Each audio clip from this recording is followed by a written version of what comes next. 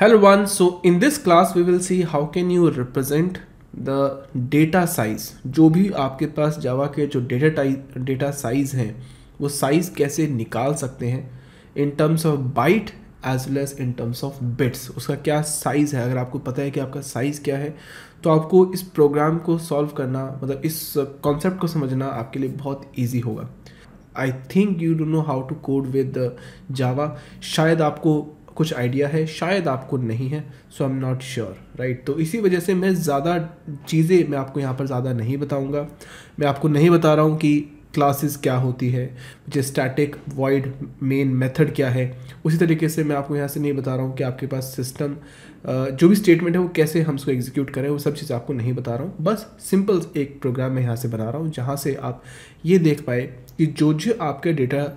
Type है, उसका size आप यहाँ से निकाल सकते हैं। तो लेट एस स्टार्ट विथ तो सबसे पहले हम इंटीजर को हम लोग यहाँ से क्रिएट करेंगे। So going to create one statement which is system dot out dot print L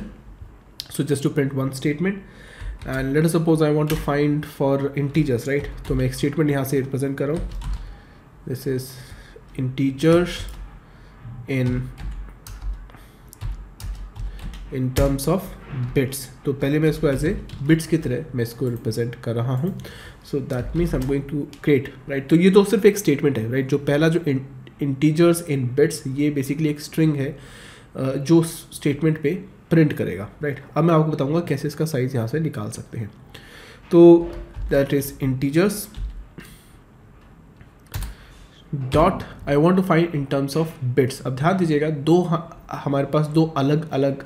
you know concept है हमारे पास पहला in terms of byte and second in terms of bits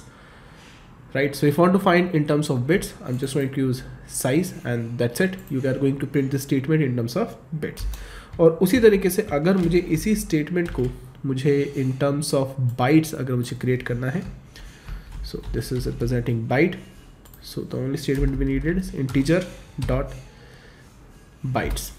okay? That's it. और आप बता सकते हैं कि इंटीजर का साइज़ क्या है। I am just going to execute this statement मैं स्टेटमेंट को एग्जीक्यूट कर रहा हूँ। एंड यू कैन सी कि जो स्टेटमेंट है वो आपको यहाँ से क्या रिप्रेजेंट करेगा। नाउ जैसे कि आप यहाँ से देख सकते हो this is representing one statement so integers in bits that is thirty two and integers by byte by four तो इसको रिप्रेजेंट करने के लिए just going to use some statement मैं यहाँ से ले रहा हूँ ताकि इसको लिखना थोड़ा इजी होगा। I am just going to run this statement मैं इसको रन कर रहा हूँ।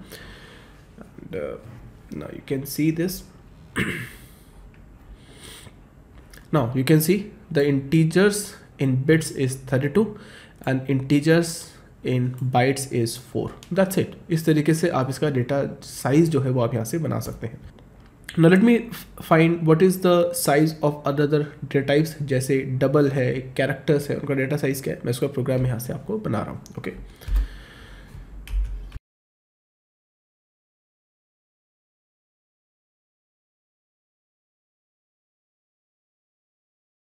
now you can see uh, what is the complete program program आप इसको देख सकते हैं if I just run and execute the statement तो आप uh, इन सभी प्रोग्राम्स का जो साइज़ है, आप यहाँ से देख सकते हैं। So you can see the program the first one integers in terms of bits is thirty two integers in bytes is four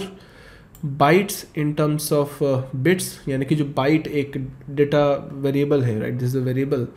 तो वो एट बिट का होता है और उसका जो साइज़ है वो one you know one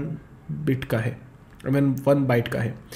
in the same way you have characters so characters in bits is 16 and the characters in terms of byte is 2 in the same way अगर मैं थोड़ा सा और extend यहाँ से करते हैं तो you can see so if you have double in bits is 64 double in bytes is 8 float in terms of bits is 32 and float in byte is 4 right so you can see what is the total sizes of all of these variables. अब the same way you can also give some values कुछ values आप यहाँ पर डाल सकते हैं. Let suppose I want to find some variables so I want to say integer so which is A and it is going to Seng value as five तो value five आएगी क्योंकि वो इंटीजर टाइप का है. उसी तरीके से I can create float so float B and we are going to find value as three point six 3.6 but ध्यान दीजिएगा वेन एवर आई से 3.6 दैट मीन्स 3.6 जो है, वो इस समय पर डबल को रिप्रेजेंट करता है। अगर मुझे इसको डायरेक्टली फ्लोट में ही मुझे डालना है तो I can use a statement which is F in the same way I want to find double I can, one more data variable is double. So we have and this statement is having 3.6 in the same way I can create a characters so let us suppose the characters C E E ले लेते हैं so which is having a character which is C ठीक है so in this way